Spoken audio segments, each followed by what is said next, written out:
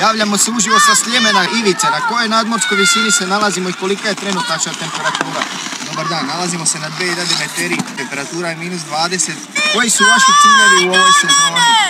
Pa ciljevi su naravno da probam završiti što više trka, da ne padnem nijednu, a naravno želio bi da ostavim ovaj golobus jer mi se prošli polomio, pa sam rekao sam sebi Ivice, osvoji taj golobus i onda možeš da završiš karijeru.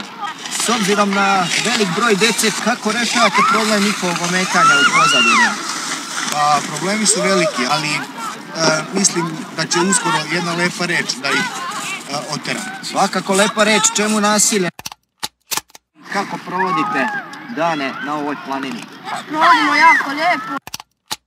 Kolikom brzinom se spuštate? Ne znam, Ne znam, sa padovi? šta ima i. Da li ste polomili nešto od što ste prodali? Nisam. Niste. Da li možemo još koji kada da uvatimo?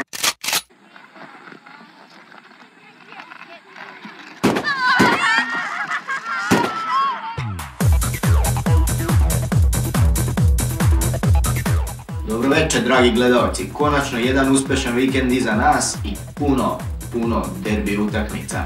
Kako se zakuvalo u engleskoj premijeru, Chip ligi, u Bundesligi, pa to nema u pički materinoj.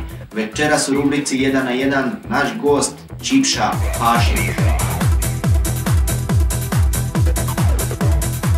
Glavni menadžer za prvu albansku ligu, gospodin Hašim, dobro večer. Dobro večer. Gospodine Hašin, koliki je vaš deo zasluga za transfer Bratića u Skenderbegu? Da li bi mogli našim gledalcima da ispričate priču? Davor Bratić je jedan od najboljih igrača u Albaniji.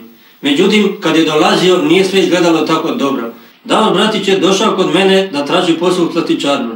Međutim, nije znao ništa da radi. Stavio sam ga da meša sladoled, vanilu i titrom. Nije znao. Davore, znaš ti šta da radiš? Pitao sam ga. On kaže, pa nisam ga da nikad ništa radio u životu.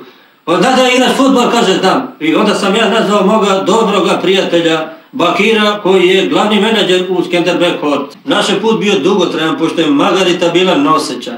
I eto, nakon dva dana putovanja od Tirana do Kort mi smo došli i moj kolega Bakir mu je rekao da proba na trening, pošto je Davor bio jako istrpljen i nije mogao taj dan da pokaže nešto, oni su htjeli da ga vrate. Rekao sam, ne moj Bakir, ostavi ga bar dva dana da proba. Danas je Davor jedan od miljenika domaće publike i sigurno igrač koji je najplaćeniji, među najplaćenijim igračima u prvoj albanskoj ligi.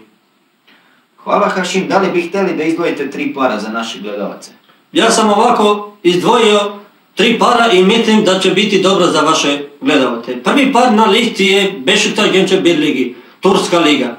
Bešiktaš ove godine uz bok velikanima Galatasaray Fenerbahčevu ima još teoretske šanse za titulu. Počeli su dobro od ove druge polusezone da igraju i mislim da je to čista jedinica. Drugi par je prva španska liga, Barcelona Valencija, ne treba trošiti reći. Barcelona ima veliki zaostatak, ako želi da se priključi za titulu, mora da pobedi. Znači, kogod da došao jedinica na Barcelonu. A treći par je Freiburg Bayern. E, tu bi već mogla da bude diskusija.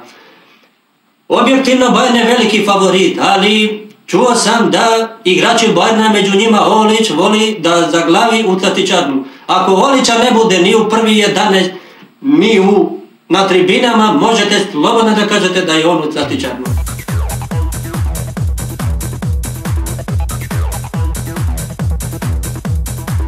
Za kraj, pogledajmo ekskluzivnu snimku koja je nedavno procurila u javnost koja otkriva mnoge nedoumice. Zidan, dođi vam. Pusti me, pusti me. U što si mi čurast? Pusti me, nije u redu. Pa vidi Cijelo da glas, pa tu imaš glas ko pipaš, šta me peder. pipaš? Imaš glas ko pederčić. Kodaš pederčić. Vidi imaš i guzicu ko pederčić. Joj, ja, mač. joj.